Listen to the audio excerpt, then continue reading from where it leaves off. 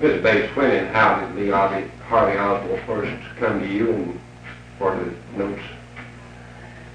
He uh, saw my name in the telephone directory, the Yellow Pages, as a public stenographer.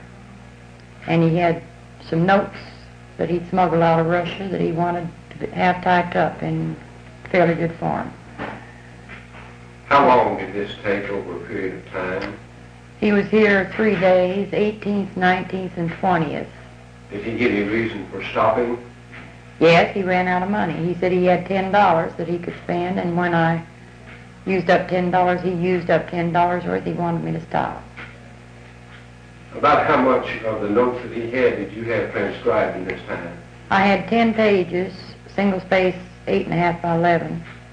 What would be your reactions to Oswald? In what way? Uh, my reactions, he was uh, aloof, remote, very reticent, didn't talk very much. Was there any conversation between you and he aside from the note transcribing? Just about his wife, how much she liked America, and how much she was enjoying it, and nothing personal. He would never discuss anything personal about himself, except that he had been in the Marines, and when he got out, he applied for a visa to go to Russia.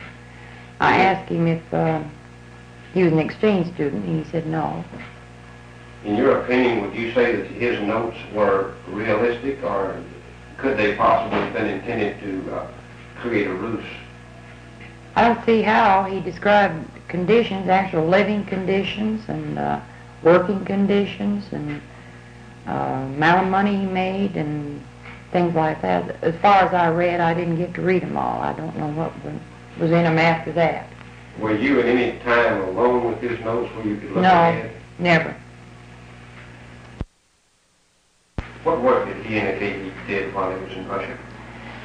I have. He worked in a factory, and I cannot remember what kind of a factory it was. It was in Minsk. It was in machinery of some kind or other, as I remember it. I'm kind of foggy on that. Did he indicate that he was happy to get back to the U.S.? He said his wife was. He never did volunteer whether he was or not.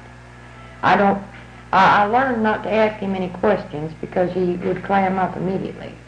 Was But I, he would talk about his wife. was there anything in his notes referring to the Communist Party or his activities after he came back?